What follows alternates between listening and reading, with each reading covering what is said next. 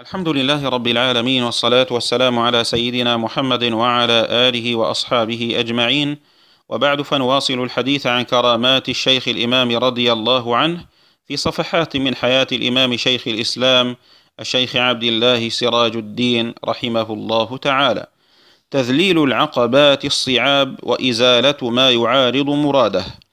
ومن ذلك هذه الكرامة التي تجمع كرامات وقد سجلتها في مذكرتي بقلمي في يوم الثلاثاء أو الأربعاء الأسبوع الأول من رمضان سنة أربعة عشر وأربعمائة وألف للهجرة ذهبت لزيارة شيخنا وقلت في نفسي ماذا نذكر من كرامات الشيخ لو كتبنا عنه؟ فانطلق يحدثنا من دون أن ننبس بكلمة عن أمور جرت معه فذكر قصة غرفة السطح في بيته السابق حول القلعة وكيف أن موظفين متتابعين أصرا على خرابها. ولم يقبل الشيخ ذلك فكفاه الله شرهما ونقلا إلى مكان آخر بل إن أحدهما أخرج من عمل الإدارة وهو الثاني وذكر الشيخ اسمهما. وقال إنه صمم على عدم خرابها لأنه أحس منهما الاستخفاف بالدين وعرض غرامة مالية ما شاء إلى مئة ألف ليرة لكنه رفض عنادا أو عداء. وقال للشيخ لو عزما على تنفيذ الخراب لمانعته بكل ما أستطيع. ثم تحدث عن الشعبانية وقال رأيت فيها عجائب ولم يذكر قصة الجدار فتذكرتها من إشارته. ثم قال أردنا أن نبني نحن القسم الشمالي.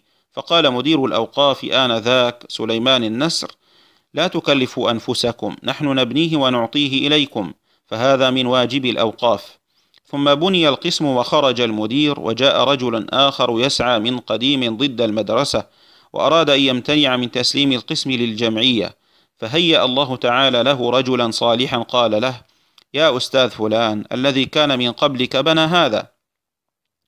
والأوقاف بنته لأجل المدرسة الشعبانية فلا تقف أنت حائلا دون ذلك وهذا لا يليق بك وإذا به يلين لكلام هذا الرجل ثم جاء بنفسه إلى الجمعية وقال للشيخ أنا تحت أمركم وكل ما تحتاج إليه المدرسة نحن نقدمه لها وسوف نسلمكم هذا القسم وذهب وأرسل المفاتيح وسلمهم القسم ليكون صفوفا يجري فيها الخير دائما ولله الحمد. وقال الشيخ إن أمر الشعبانية عجيب فقد كان لها أثر كبير في العلم والدين عبر الزمان مع أنها ليست مثل غيرها في الفخامة والضخامة كأنه يشير إلى العادلية والعثمانية.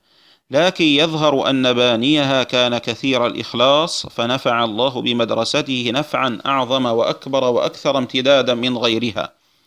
لقد كان حديث الشيخ نفسه كرامة وأي كرامة.